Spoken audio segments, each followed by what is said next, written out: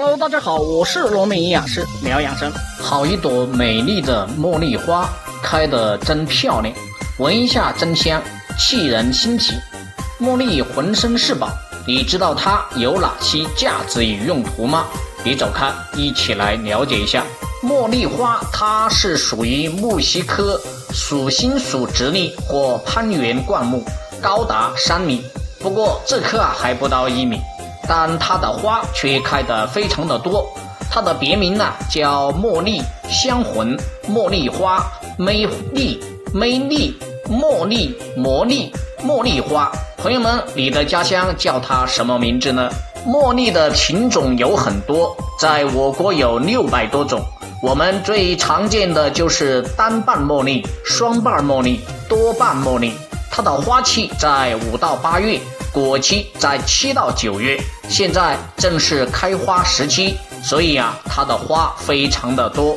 我们对它的花的价值与用途了解的比较多，都知道它的花可以泡茶喝，它的花富含叶绿素、儿茶素、茶氨酸、咖啡碱、茶多酚多种维生素及多种矿物质和多种氨基酸，对我们健康有帮助。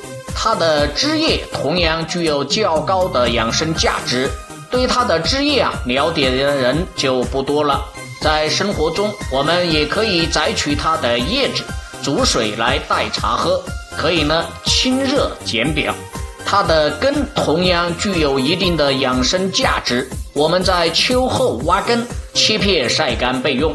用它煮水泡脚，对风湿骨痛有缓解作用。对这种情况有一定的帮助，当然它的价值与用途远远不止这些。有关它的更多的价值和用途，我已经给大家整理在评论区了，大家可以看完视频后啊，到评论区去参考，也可以把你的经验写在评论区，让更多的人来学习。关注、评论、点赞、收藏，长按点赞，有我相伴。具体应用，请遵当地的专业人士指导。我是农民营养师聊养生，大家可以关注我，了解更多的养生知识。记得点赞、评论、转发、收藏。我们下期再见，拜拜。